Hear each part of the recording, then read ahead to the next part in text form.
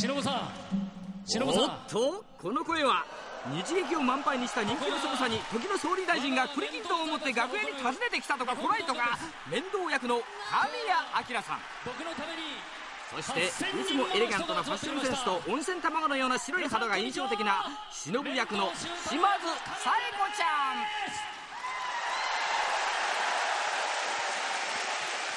皆さん今日はようこそ。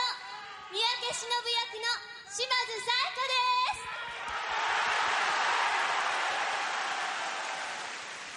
す。でも面倒さん、はい。10年間ってあっという間でしたよね。そうですね。思い起こせば一番最初の頃のセリフはこういうのがありました、あお嬢さん肩に誇りが。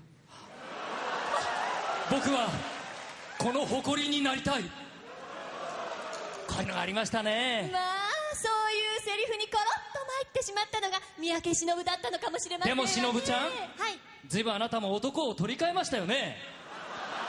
いや別に私が取り替えたくって取り替えたんじゃなくって。そうですか？え一番最初が諸星あたるでしょ？あたるくん。で面倒さんにその誇りでコロッと参りましてあそうそうそうそうそう。その後、うん。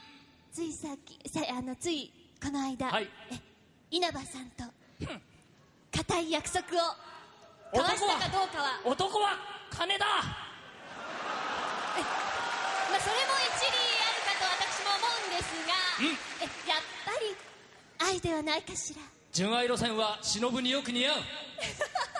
これからも僕は温かく君たちを見守っていこう